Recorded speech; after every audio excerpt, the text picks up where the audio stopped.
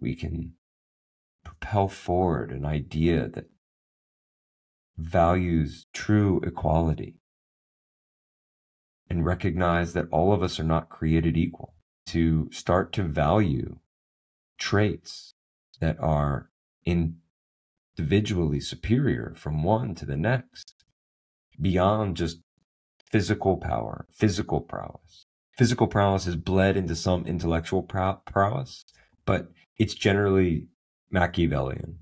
It's generally the ability to manipulate, the ability to control, the ability to project your will upon someone else through fear, intimidation, deceit.